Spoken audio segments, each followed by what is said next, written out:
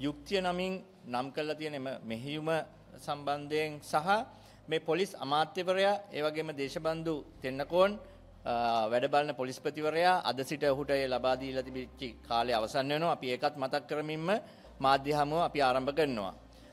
මේ මාධ්‍ය හමුව ආරම්භයට පෙර ආතුව මට යමක් කියන්න ඕනි. සිවිල් ක්‍රියාකාරකයන් විදිහට අපි නිරන්තරයෙන්ම මේ රටේ තියෙන ප්‍රශ්න, සමාජ ප්‍රශ්න, ඒ වගේම යම්කිසි අසාධාරණ වෙනුවෙන් පෙනී සිටිනවා, කතා කරනවා. හැබැයි මේ අයුක්තියට අසාධාරණයට එරෙහිව නගන හඬ ශ්‍රී ලංකා පොලිසිය යටපත් කරන්නට උත්සාහ ගන්නවා. ඒකේ ආසන්නතම අවස්ථා කීපයක් සම්බන්ධයෙන් අපිට පැහැදිලිවම සාක්ෂි තියෙනවා. ඒ වගේම ශ්‍රී ලංකාවේ අපරාධ පරීක්ෂණ දෙපාර්තමේන්තුව මේ රටේ අපරාධ වහන්න කටයුතු කරනවා. ඒ සම්බන්ධයෙන් අපි ගාව ලිඛිත සාක්ෂි තියෙනවා.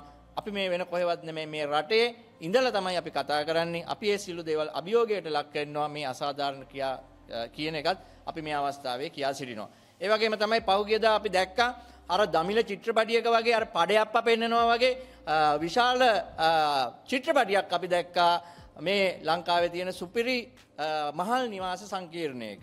මොකද්ද මේ සිද්ධ වුණේ? එක පාටම පොලිසියෙන් පනිනවා පොලිසියෙන් පැනලා අර කවුද මන්ද බාසික්ගේ කවුද කියලා එයාගේ පුතා අරන් යනවා සිවිල් ඇඳුමෙන් තමයි මේගොල්ලෝ එන්නේ. ඉතින් මෙන්න මේ සිද්ධියත් එක්කම මේ යුක්තිය මෙහෙයුම ගැන අපිට කතා කරන්න අවශ්‍යතාවය තිබ්බා. මීට කලින් ඉඳන්ම අවශ්‍යතාවය තිබ්බා. හැබැයි අපි මේ යුක්තිය කියලා අපි දැක්කේ අයුක්ති සහගත වැඩ කටයුතු. ඊයේ දවසේදී අපි දැක්ක මාධ්‍යවේදියෙක් අපේ ප්‍රධානතම මාධ්‍යවේදියෙක් අපිට ඉන්න ඒ මාධ්‍යවේදියාගේ පුතාට අයිස් දාලා පුතාවල්ලන් ගිහිල්ලා තියෙනවා මේ යුක්තිය මෙහෙයුම මතක් කළා. යුක්තිය මෙහෙයුමේ නාමයෙන්. ඉතින් මේ වගේ අසාධාරණ ක්‍රියා සිද්ධ වෙනකොට අපිට සිද්ධ වෙනවා යුක්තියේ ඇත්ත පැතිකඩ මොකක්ද කියන එක මේ ටිරාන් අලස් කියන පොලිස් ඇමතිවරයාටත් දේශබන්ධු තෙන්නකෝන් කියන අද දවසේදී ඉඳලා බලයෙන් පහවෙන මේ පොලිස්පතිවරයාටත් වැඩබලන පොලිස්පතිවරයාටත් මතක් කල්ල දෙන්න යුක්තිය කොහොමද ඇත්තටම ඉශ්්‍ර කරන්න කියලා. ඔබ හොඳින් දන්න කාරණාවක් තමයි ශ්‍රී ලංකා පොලිසියේ වෙච්චි සිදුවීම් මාලාවදිහා බලනකොට පොලිස්පතිවරයාගේ චක්‍රලයකයක් තියෙනවා සිවිල් ඇඳුමින් සැරසී වැටලීමට යන්න එපා කියලා. එතකොට මේ යුක්තියේ මෙහෙයුමට යන්නෙම මේ පොලිස් නිල්ධාරින් සිවිල් ඇඳුමින්. මම අහනවා දැන් කාකි කෝට් එක මහන්න රෙදි මදි වෙලාද? මුදල් මදි වෙලාද? ප්‍රතිපාදන මදි වෙලාද කියන එකත් අපි මේ අවස්ථාවේ අහන්න කැමතියි. ඒ වගේම තමයි ශ්‍රී ලංකාවේ පොලිසියක් කියලා තිබ්බට මේක මේ මංකොල්ලකාරීන්ගේ රජදහනක් බවට පත් වෙලා තියෙනවා. ඔබ හොඳින් දන්නවා ප්‍රජා පොලිස් සේවයේ රැස්වීම් පවත්වන තැන්වලට මේ පොලිසියේ ස්ථානාධිපතිවරුන් පින්සින් සෙන්ඩු වෙනවා. සාක්කි නැත්තම් මාව කැඳවන්න කොහෙද උනේ මොකද්ද උනේ කියන එක මම පෙන්නලා දෙන්නම් කියලා දෙන්නම්. මේ ප්‍රජාපොලිස් සේවයේ ප්‍රජාපොලිස් රැස්සීන් තියෙනකොට ඒ අදාළ ශාලාව ගන්න අපි පැහැදිලිවම දන්නවා මේ ළඟදි තිබ්බ ප්‍රජාපොලිස් මීටිමක් නෙළුම් පොකුණේ 300කට එන්න කියලා ලක්ෂ 10කට වඩා වියදම් වුණා. පුළුවන් නම් ටිරාන්නලස් මහත්තයෝ දේශබන්දු දෙන්නකොන් කියන්නකො මෙව්වට කොහොමද වියදම් කළේ කියලා. මෙව්ව කුඩුකාරින්ගේ සල්ලි නෙමෙයි කියලා පුළුවන් නම් කියන්නකො කට ඇරලා. එතකොට මේක කෑම දෙන්නේ කවුද? මේක පොලිසිය තීන්ත ගන්න කවුද? පොලිසියේ මේ මේ ඒ නිල්ධාරීන්ට ඕනි වෙලාවට ඒ වැඩ කටයුතු කළා දෙන්නේ කොහමද? මේ කොළඹ ප්‍රදේශයේ අපි කුදලන්ගේ පොලිස් නිලධාරීන් රැට රැට තරුපහේ හෝටල් වල සම්මන්ත්‍රණ පවත්වනවා. ඒව ගැන සාක්ෂි තියෙනවා. ඒව ගැන ඡායාරූප අපිට සමහරු ලබා දීලා තියෙනවා. ඉතින් මේ වගේ තත්ත්වයක් තියෙද්දිද මේ යුක්තිය සාධාරණීකරණය කරන්න කියන එකත් මම අහන්න කැමතියි. අනිත් එක මේ අර අර කුඩු හදනවා මොකක්ද ඒ මේ ශාක තියෙනවද මේ මේ මහල් නිවාස සංකීර්ණය තුලේ? කුඩු අල්ලනවා නම් අපි කියන්නේ අල්ලන්න ඕනි මේ රටට එනකොටම. ඒක අල්ලන්න ඕනි මහා මහා මුහුදේ ඉඳලා මහා මුහුදේ ඔපරේෂන් තියන්න ඕනි. නැතුව මේ සිවිල් ඇඳුමෙන් ගිහිල්ලා මේ මහල් නිවාසයක් ඇතුළට ගිහිල්ලා අනිත් එක තමයි මේ හොඳ අංජනන් එලිකාරයෝ ටිකක් තමයි මේ පොලිසිය ඉන්නේ. මේ කුඩු අල්ලන්න කලින් ඔවුන් නම් කරනවා. මෙන්න මේ පුද්ගලයා ගාව තමයි කුඩු තියෙන්නේ. මෙන්න මේ පුද්ගලයා ගාව කුඩු තියෙන්නේ. ඒ වගේ අංජනම ඇරලනම් යුක්තිය මෙහෙයුම කරන්නේ ශ්‍රී ලංකාවේ පනත් තියෙනවා. අපරාධයක් වුණාම නිවැරදිව ක්‍රියා කරන ආකාරය තියෙනවා. පොලිසියට තියෙන දඬුවම් දෙන්න නෙමෙයි කියන එකත් හොඳින් මතක තියාගන්න. පොලිසියට තියෙන්නේ අපරාධකාරයාව අල්ලා ගැනීම පමණයි. අල්ලලා අධිකරණයට දාන්න ඕනි. අධිකරණයට දානකම් අපරාධකරුවා වැරදිකාරයෙක් වෙන්නේ නැහැ නඩු අහලා ඉවර වෙනකම් ඔහු සැකකරුවෙක් පමණයි. ඉතින් මෙවැනි තත්ත්වයක් තියෙද්දී තමයි මේ රටේ පොලිසිය මේ සියලු දෙනාගේම මතයන් වෙනස් කරමින් මේ එක පුද්ගලයෙක් වටා ගොනු කරන්න රැස් කරනවා. මෙන්න මේ කුඩු තියෙන මේ ගොල්ලො ගාව කියලා. හැබැයි මම අහන්න කැමති මේ රටට එන ප්‍රධාන කුඩු ජාලයේ මුදල් නිසාද පොලිසිය මේ ආකාරයට කටයුතු කරන්නේ. ප්‍රධාන කුඩු ජාලය වහන්න ගාහන ගේමක්ද මේක කියනගත් අපි මේ අවස්ථාවේ අහන්න කැමති දැන් හොඳ කතාවක් තියෙනවානේ මේ ටිරාන් අලස් කියන්නේ වැලේ වැල් නැති නැතුව හිටියේ. ඔහුට තියෙනවා නඩු එකයි දෙකයි තුනයි හතරයි පහයි හයයි හතයි අටයි. නඩු අටක් තියෙනවා. මං මේ නඩු අංකවලින් කියන ඔහු බදු ගෙවල නෑ අවුරුදු පහ දහය පරණ නඩු තියෙනවා. හැබැයි මේ යුක්තිය මෙහිම පටන් ගත්ත විතරයි නැති සල්ලි ඇදිලා මෙන්න බදු ගෙවන්නත් ලෑස්ති නඩුටි ඉවර කරගන්නත් ලෑස්ති. කලින් සිතාසි බාර දෙන්න ඔහුගේ ඇඩ්‍රෙස කොයාගන්න පෙරුම් පුරන්න වෙනවා මේ මේ උසාවිවලට හැබැයි දැන් ඔහුගේ ඇඩ්‍රසුත් තියෙනවා නඩුවලටත් පෙනී හිටිනවා. මේ හිඟ මුදල් එතකොට ටැක්ස් ගෙව ගෙවින් පැහැර හැරීම් තියෙන්නේ. එව්වත් දැන් ගෙවන්න ලෑස් වෙලා තියෙනවා. අපි එහෙමනම් අහනවා ටිරාන් අලස් මහත්තයෝ ඔබතුමාට මේ සල්ලි කොහෙන්ද ලැබුණේ?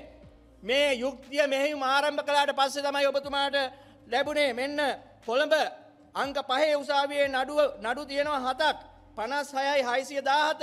තුන්සිය හැටයි පනස් තුන අනුව එකයි තුන්සිය පහළව අටසිය හැට එකයි හතලිස් තුන හතලිස් අයයි නමසිය හැට පහ. විසි හතයි තුන්සිය විසි අට ඒවගේම තමයි තව තියෙනවා පනස් අටයි නමසිය පනස් අතර පනස් අටයි නමසිය පනස් දෙක මෙන්න නඩුවංක ටික කිව්වා. මේ රටේ ඕනිම කෙනෙක්ට නීතිච්ච මහත්වරුන්ට පුළුවන් මේ නඩුවංකවලින් අදාළ නඩුවේ පිටපත ගන්න. පිටපත ගත්තට පස්සේ ඔබට තේරෙයි යුක්තියට කොහොමද සාධාරණේශ්‍ය කල්ලා තියෙන්නේ ටිරාන් අලස් කියලා. මේක බරපතල හෙළි දරව්වක් හෙට දවසේදී පුළුවන්න්නම අපරාධ පරීක්ෂණ දෙපාර්තමේන්තුවට කැඳවන්න. හැබැයි අපරාධ පරීක්ෂණ දෙපාර්තමේන්තුවට කැඳවන්න කලින් භූතානි බිල්ඩිමේ තියෙන නීති විරෝධී ආයෝජන වත්කම් හෙළිකිරීමේ කාර්යාංශයට අපි සඳුදා දවසේදී යනවා. ගිහිල්ල මේ සියල්ල හෙරි කල්ලා ටිරාන් අලස්ට එරෙහිව මේ නීති විරෝධී වත්කම් උපයාගත්‍ය ආකාරය සම්බන්ධය පරීක්ෂණයක් කරන්න ගෙනගත් අපි මේ අවස්ථාවේ ඉල්ලා සිටිනවා. ඒ වගේම තමයි මේ චිත්‍රපටි පෙන්වීම වහාම නතර කරන්න. සාධාරණත්වයක් ඉෂ කරන්න ඕනි මේ තැන්තැන්වලට පැනලා මේ අහිංසක මිනිස්සුන්ව බය කල්ලා බීතියට පත් කරලා සිවිල් ඇඳුමෙන් පැනලා මේ රටේ නීතිය කඩගන්න මේ පොලිස් නිලධාරීන් කරුණා කරමම ඔබට කියන්නේ මේ රටේ නීති ආරක්ෂා කරන්න ඉන්න ශ්‍රී ලංකා පොලිසිය. එහෙමනම් ශ්‍රී ලංකා පොලිසිය මේ රජයත් රටත් ආරක්ෂා කරගත යුතුයි. මේ කොහෙවත් ඉන්න දේශපාලඥයන්ගේ සහ ණයට කහින සහ මේ කුඩු සල්ලිවලට යට වෙලා නම් මේ යුක්තිය කරන්නේ ඒක වහාම නවත්තන්න කියන එකත් අපි ශ්‍රී ලංකා පොලිසියට කියනවා ටිරාන් අලස් ඔබට තියෙන්නේ සුළු කාලයයි අපි මේ පන්දම දැන් අතට අරන් තියෙන්නේ අපි බලන් හිටිය පහුගිය දවස්වල ඔබතුමා පෙන්වන චිත්‍රපටි දකුණු ඉන්දියානුවගේ චිත්‍රපටි පෙන්වලා රැයට හැමදාම ටීවී එකේ පෙන්වනවා අවුරුදු තුනකට කලින් අල්ලපු බස් ටික ගිහිල්ලා හරි යගේට පෙන්වනවා මෙන්න කුඩුකාරීන්ගෙන් අල්ලපු බස් කියලා. මේක සිය පාරක් විතර ටීවී එකේ පට්ට ගහන්න නැති ඉතින් ඒ වගේ තත්ත්වෙට වැටෙන්න එපා. ඇත්ත සාධාරණය අනුව කටයුතු කරන්න මහමලකරුවන් අල්ලන්න. මේ තෝරබෝරු ඇල්ලකට තමන්ට මේ අර බජට්ටකට ගාන කඩාගන්න වගේ මේ හොරුන් අල්ලගෙන සල්ලි දෙන්න ඇතියි කෙලිම නම් කරනවා. මුන් තමයි කුඩුගේන්න කියලා.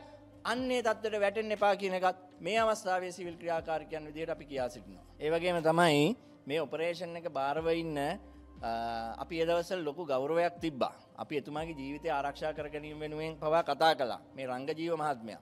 හැබැයි මේ පහුගේ දවසල ඕගේ ෆේස්බුක් එක මූුණු පොත දැක්කට පස්සේ ඇත්තටම අර පිළිකුල් සහගත තත්ත්වයක් තමයි අපිට ඇති වුණේ.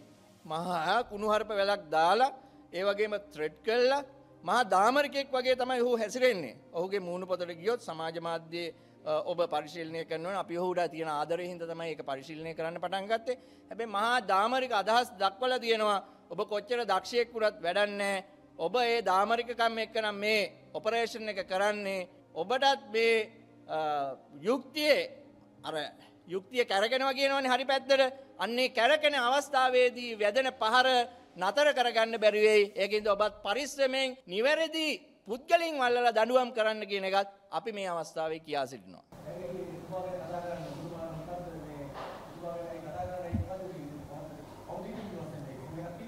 දැන් අපි මේ සමස්යක් විදිහට අපි මේක කතා කළ යුතුයි.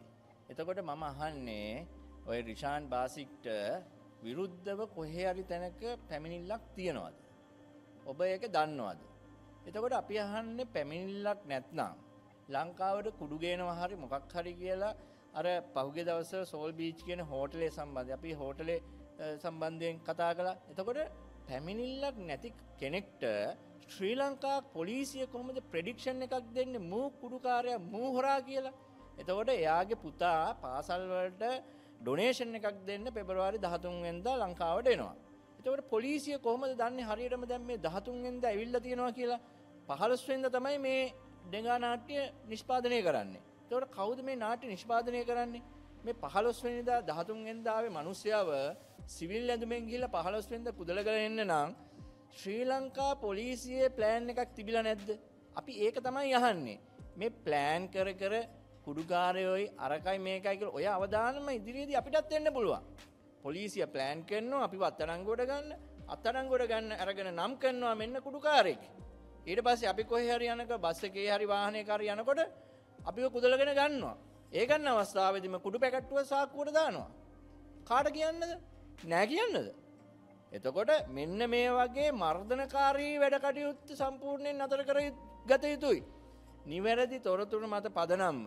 මොකක් හරි සාක්කියක්වත් තියෙනම් මිසා. කොහෙන් හරි දත්වයක් හෝ කොහෙන් හරි ලැබිච්චි බුද්ධි තොරතුරක් මත පදනම්ම ඒ ඔපරේෂණ එකක් කලාට අපේ කිසි ගැටලුවක් නෑ. එහෙම නැතුව පෞද්ගලික පලිගැනීමේ මට්ටමේ ඒවගේම තමයි අපි දන්න ඔය රිෆා කියන පුද්ගලයක්ත් එක්ක දේශබන්ධු දෙන්නකොන් මේ හැම තැනම ගිහිල්ල තියෙනවා පොත් බෙදන්න දීලා තියෙනවා කන්න සල්ලි දීලා තියෙනවා ඉති මෙව්ව කියන්නේ අපි නෙමෙයිනි ඒ අදාළ නිල්ද පුද්ගලින්මනි කියන්නේ එහෙමනම් දැම්මොකද මේ දේශබන්ධු දෙන්න කෝල්ලට ලැබෙන කුට්ටිය මදි වෙලාද මේ ඔපරේෂන් පටන් ගන්නේ එහෙම නැත්නම් තවත් කුඩු රජෙක් වහන්නද මේ වගේ මිනිස්සුන්ට චෝදනා කරන්න කියන එක තමයි අපිට ඇති වෙලා තියෙන ප්‍රශ්නය මම කියන්නේ ලංකාවට කුඩු ගේනවන ඒ කුඩුකාරවල්ලන්න ඕනි මේ නැතුව මහල් නිවාසවල ඔපරේෂන් කරන්න නෙමෙයි ඔපරේෂන් කළත් පලයක් නැතුව මේක ජනතාවට පෙන්නලා නාට්‍ය පෙන්නලා දැන් ජනතාවට අමතක වෙලා යනවා. එහෙම කරන්න දෙන්න බෑ මේ රටේ. වරද කරුවා අත්තරංගුවට ගත යුතුයි. වරදක් වෙනවනම් මේ රටේ මේ තහනම් මද්‍රව්‍ය සම්පූර්ණයෙන් නැති නැති වෙලා තියෙන්න ඕනි. ඒ වුණට මේ රටේ තරුණ ප්‍රජාවට මේක මේ මද්‍රව්‍ය පාවිච්චි කළ විනාසයට පත් වෙනවානේ. එමනම් මේක පිටිපසි කුමන්ත්‍රණකාරී විදියට ශ්‍රී ලංකාව පොලිසිය ඉන්නවයි කියලා සැකහිතෙනවා. අනිත් දැවන්ත සැකය තමයි ටිරාන් අලස් දැන් අවුරුදු කියක් ඉන්නවද. ටිරාන් අලස්ට එක පාට මතක් වුණේ මොකටද මේ වගේ ඔපරේෂණ එකක් කරන්න. මම හිතන්නේ මගේ සැකය තමයි හොඳම කෙනා එනකම් බලං හිටිය. මොකද තකට තක යාළුව දෙන්නට තමයි කුට්ටිය හොඳටම බෙදාගන්න පුළුවන්. ටික දුරස් වෙලා ඉන්නවනම් ගනම් මිනුම් කතා කරගන්න අමාරුයි ශ්‍රයායක කතා කරගන්න අමාරුයි. ෂයා එක කතා කරන්න පුළුවන් හොඳම කෙනා එනකං ඉදල තමයි මෙන්න බඩු පටන් ඇරන් තියෙන්නේ. ඕක තමයි අපිට කියන්තියෙන්. මේක කරන්න ලැයිස්තුවක් අනුව මෙන්න කට්ටිය ලෑස් වෙලා ඉන්නවා. තමන්ගේ අවශ්‍යතාවයන් ඉෂ්ටන වනනම් ඒවගේම තම එහු පැහැදිලිය මුත්තර දෙන්න ඕනි. අර රිෆා කියපු කතාවට උත්තර දුන්නෑනේ පොත් බෙල බෙදන්න මෙච්චරල්ලුව අරව බෙදන්න මෙච්චරල්ලුව හැම දාම මගේ සල්ලිල්ලනවා දේශබන්ධු දෙන්නකොන් මට මේක දරාගන්න විදිහක් නෑකිව ප්‍රසිද්ධිය පුද්ගලේ ප්‍රකාශ කරනකොට දේශබන්ධු දෙන්නකොන් කොම වුණා. කට ලොක් වුණා. කට පිට්ටු. ඒ වගේ දේකට ප්‍රකාශයක් නිකුත් කරන්න බැරුව කොහොමද මේ වගේ තැන්වල ඔහු සාධාරණය කරණය කරන්නේ. ඒවගේම තමයි ටිරන් අලස්ගේ කෝටි ගණන්වල මුදල් වංචා වැඩ්බදු පැහැරහැරි ඒ සියලුම නඩු දැන් පටන් ගන්නවා. එක පාට ටිරන් අලස්ට සල්ලිමල් ඇවිල්ල තියෙනවා. ඒ සල්ලියාව කොහෙද කිය කොහෙන්ද කියන එකත් ටිරාන් අලස් පැහැදිලිව ප්‍රකාශයක් කරන්න ඕනි.